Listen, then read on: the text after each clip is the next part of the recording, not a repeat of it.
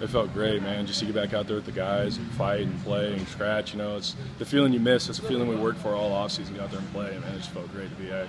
And to get out there and to see, you know, to kind of have the kind of game that the team did. I mean, how yeah, nice I mean that just makes it even better. You know, to win by a big margin. You know, and just score those touchdowns, have fun, dance, you know, party, everything with everybody.